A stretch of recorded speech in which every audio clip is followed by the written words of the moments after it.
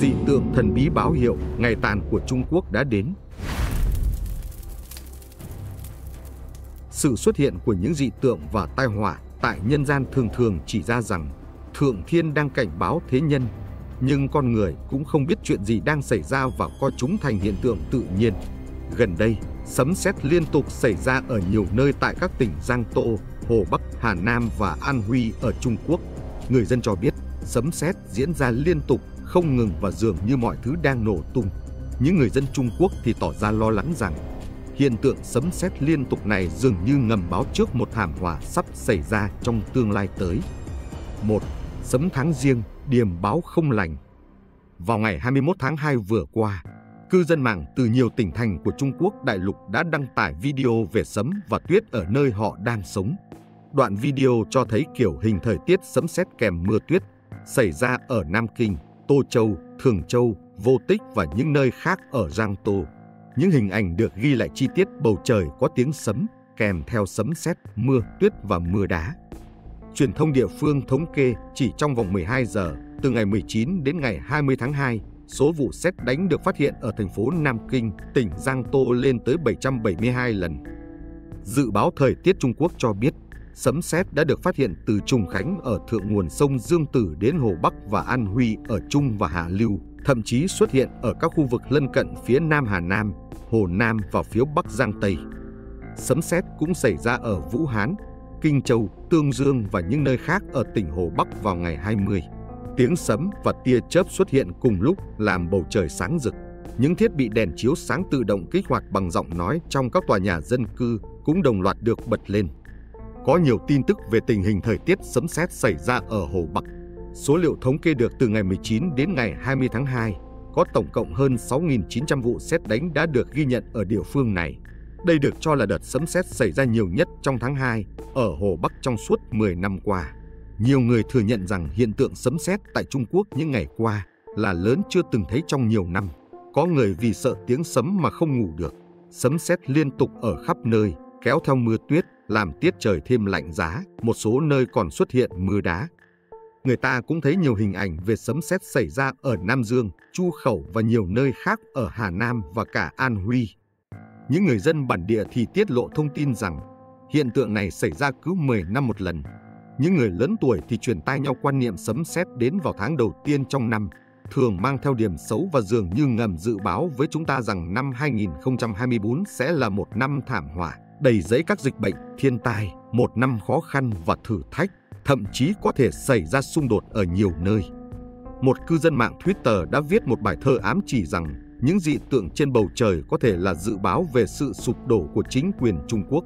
Trời giáng mưa bão khắp kinh thành, trước ngày diệt vong hiển điềm báo, con cháu Trung Hoa nhiều ma nạn cùng nhau lên thuyền đón tự do. 2. Tử Cấm Thành, nơi không ngập nước trong hơn 600 năm đã ngập. Trong khoảng thời gian từ ngày 29 tháng 7 và đến ngày mùng 1 tháng 8 năm ngoái, do ảnh hưởng của cơn bão Duserui, thủ đô Bắc Kinh của Trung Quốc đã hứng chịu những trận mưa xối xả gây ra lũ lụt nghiêm trọng. Hình ảnh đường phố ngập nước và ô tô bị lũ cuốn trôi tràn ngập mạng xã hội Trung Quốc. Ngay cả Tử Cấm Thành nơi 24 vị hoàng đế sinh sống trong hai triều đại nhà Minh và nhà Thanh, có hệ thống thoát nước rất hoàn chỉnh, hơn 600 năm chưa từng bị ngập đến nay đã bị ngập lụt. Điều này đã dấy lên nhiều cuộc thảo luận sôi nổi. Một số thầy phong thủy cho rằng việc Tử Cấm Thành, nơi được xem là biểu tượng của quyền lực hoàng gia bị ngập lụt là một điểm rất xấu báo hiệu sự bất ổn của triều đại. Bậc thầy phong thủy Hồng Kông Feng Shui Hao trong một cuộc phỏng vấn với khán giả Trung Quốc tin rằng Tử Cấm Thành bị ngập lụt là do sự tắc nghẽn của Trung Nam Hải. Ông nói rằng có một con sông trong và ngoài Tử Cấm Thành, sông Kim Thủy bên trong chảy qua cổng Thái Hà và sông Kim Thủy bên ngoài chảy qua mặt trước của quảng trường Thiên An Môn. Nước chảy từ nội Kim Thủy đến ngoại Kim Thủy, rồi đến Trung Nam Hải. Tuy nhiên, nước ở Trung Nam Hải không rút hết, nước chảy ngược khiến Tử Cấm Thành bị ngập. Ông nói thêm rằng, việc Tử Cấm Thành vốn là nơi đặt quyền lực của hoàng gia bị ngập lụt là một điểm báo lớn về sự bất ổn của một triều đại. Nhiều người còn cho rằng điều này cho thấy sinh lực của chính quyền Trung Quốc sẽ dần bị cạn kiệt trong năm 2024 này. 3. Siêu báo bất ngờ quay hướng đổ bộ vào Bắc Kinh và Đông Bắc Trung Quốc Siêu báo Doksuri hình thành vào cuối tháng 7 năm ngoái đã thực hiện nhiều cú ngoặt gấp 90 độ trên biển, đi vòng qua Đài Loan, đổ bộ từ Phúc Kiến rồi tiến thẳng vào Bắc Kinh và Đông Bắc Trung Quốc gây mưa lớn. Từ ngày 29 tháng 7 đến ngày 1 tháng 8, Bắc Kinh đã duy trì lượng mưa lớn trong 83 giờ. Hồ chứa Vương Gia Viên ở Sông Bình, Bắc Kinh có lượng mưa 744,8 mm, vượt xa kỷ lục lịch sử 609 mm vào năm 1891. Bão Kanu được hình thành sau cơn bão Doksui, đột ngột chuyển hướng mạnh 90 độ khi tiến gần đến Nhật Bản và hướng về phía bắc đến tận bán đảo Triều Tiên và Đông Bắc Trung Quốc. Ngày 10 tháng 8, Cục Khí tượng tỉnh Liêu Ninh dự báo do ảnh hưởng của bão Canu ở phía đông tỉnh Liêu Ninh sẽ có mưa vừa, mưa to cục bộ từ sáng sớm ngày 10 đến dạng sáng ngày 11, có nơi mưa to, rông rải rác, gió giật mạnh cấp 8 đến 9. Từ ngày 10 đến ngày 11 có mưa lớn cục bộ ở lưu vực sông Áp Lục thuộc Thượng Lưu tỉnh Liêu Ninh. Hầu hết Hắc Long Giang và phía đông Cát Lâm nói chung sẽ có mưa lớn với những cơn mưa lớn cục bộ. Vào tối ngày 9 tháng 8, thành phố Thượng Trí, tỉnh Hắc Long Giang đã đưa ra thông báo khẩn cấp rằng Canu sẽ ảnh hưởng đến thành phố vào ngày 10 tháng 8, mang theo lượng mưa lớn. Từ ngày 10 đến 12 tháng 8, thành phố tạm dừng đi làm, tạm dừng hoạt động, sản xuất, kinh doanh. Một số cư dân mạng than thở, tôi chưa bao giờ nghĩ rằng cơn bão sẽ ảnh hưởng đến vùng Đông Bắc. Đây phải chăng chính là dị tượng tại nhân gian, cảnh báo rằng đại kiếp nạn có lẽ đang ở ngay trước mắt. 4. Tuyết rơi giữa mùa hè điềm báo lạnh buốt cho chính quyền Trung Quốc. Khí hậu ở Trung Quốc diễn biến bất thường, mùa hè nhiều năm liền đều có tuyết rơi. Vào đầu mùa hè năm ngoái, báo tuyết cũng đổ xuống nhiều nơi ở Thanh Hải và Tân Cương, hai tỉnh Tây Bắc của nước này. Tiết lập hạ năm 2023 bắt đầu từ ngày mùng 6 tháng 5 đến ngày 20 tháng 5 dương lịch, tức ngày 17 tháng 3 đến ngày mùng 2 tháng 4 âm lịch. Ngày đầu tiên trong tiết lập hạ cũng chính là ngày bắt đầu mùa hè hàng năm. Truyền thông Trung Quốc đưa tin, theo dự báo thời tiết của các địa phương, bắt đầu từ ngày mùng 4 tháng 5, nhiều nơi ở Thanh Hải đã liên tục có mưa và tuyết, một số khu vực có tuyết rơi dày. Trong đó, từ tối ngày mùng 6 tháng 5 đến 8 giờ tối ngày mùng 7 tháng 5, nhiều nơi ở tỉnh Thanh Hải như Tây Ninh, Hải Đông, Hải Tây, Hải Bắc, Hải Nam, Hoàng Nam, Ngọc Thụ và gua Lốc đều có tuyết rơi nhẹ hoặc tiết kèm mưa. Vào tối ngày 6 tháng 5, một trận bão tuyết bất ngờ đổ xuống huyện Ma Đoi, châu tự trị Tây Tạng Gô Lốc, tỉnh Thanh Hải, gây ra băng tuyết nghiêm trọng trên các con đường trong khu vực. Hơn 100 phương tiện bị mắc kẹt trên đường cao tốc cùng Ngọc. Tuyết rơi mùa hè là một dị tượng thiên nhiên cực kỳ hiếm thấy.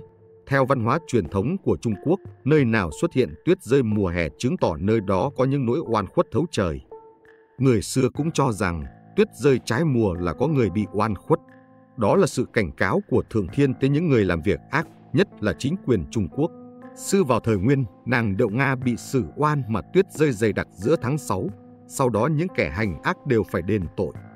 Cư dân mạng phải thở dài ngao ngán bình luận, tháng 6 tuyết rơi, át có oan tình. Nước sắp diệt vong, át sinh yêu nghiệt, dân chúng lầm than, trời hiện dị tượng, số mệnh của chính quyền Trung Quốc đã tận. 5. Động đất xảy ra ở Sơn Đông và những nơi khác. Vào lúc 2 giờ 33 phút ngày 6 tháng 8 năm 2023, một trận động đất mạnh 5,5 độ Richter đã xảy ra tại huyện Bình Viễn, thành phố Đức Châu, tỉnh Sơn Đông. Đây là trận động đất lớn nhất ở tỉnh Sơn Đông trong 10 năm qua. Tính đến 8 giờ ngày 6 tháng 8, có tổng cộng 59 dư chấn được ghi nhận. Quận Bình Nguyên nằm ở phía nam của phần mở rộng đi xuống của trung tâm Bắc Kinh. Sau trận động đất, hầu hết Bắc Kinh, cách đó 300 km, đã cảm nhận được. Vào ngày 7 tháng 8, huyện Lô Định, Tứ Xuyên xảy ra động đất. Vào ngày 9 tháng 8, thành phố Hà Trạch, tỉnh Sơn Đông, thành phố Nghi Tân, tỉnh Tứ Xuyên và thành phố A Đồ Thập Nhị của Tân Cương. Vào ngày 10 tháng 8, động đất xảy ra ở thành phố Nhã An, tỉnh Tứ Xuyên và huyện Cát Mộc Cát Nhĩ, tỉnh Tân Cương. 6. Bất thường ngỗng trời bay về phía Nam. Vào ngày 7 tháng 8 năm ngoái, một cư dân mạng ở thành phố An Quốc thuộc quyền quản lý của thành phố Bảo Định, tỉnh Hà Bắc đã đăng tải một đoạn video cho thấy nhiều con ngỗng bay về phía Nam với hình dạng giống người trên bầu trời. Ngỗng thường bay về phương Nam vào mùa thu mát mẻ. Lúc này vẫn là tháng 6 âm lịch, miền Bắc Trung Quốc đang vào thời điểm nóng nhất trong năm. Lúc này ngỗng bay về phía Nam là một việc xảy ra khá bất thường. Con người dường như thật nhỏ bé khi đối mặt với tai họa. Tuy nhiên, ông trời có đức hiếu sinh. Mỗi lần tai nạn xảy ra trời cao cũng sẽ sớm cảnh báo, cũng sẽ mượn nhờ thế nhân nói cho bạn cách để tránh thoát kiếp nạn. Chỉ cần bạn lưu ý lưu tâm, thần nhất định sẽ dùng các loại phương thức để chỉ cho bạn phương pháp bình an vượt qua kiếp nạn. Video của chúng tôi tới đây là hết. Bạn nghĩ sao về những dị tượng ngầm dự báo tai họa cho tương lai sắp tới? Liệu nó có trở thành sự thật hay không? Hãy comment ở phần bình luận phía bên dưới để chúng mình cùng thảo luận. Nếu bạn thấy video này hữu ích, đừng quên nhấn nút like, share và subscribe để không bỏ lỡ các video tiếp theo nhé. Cảm ơn các bạn đã theo dõi. Xin chào và hẹn gặp lại.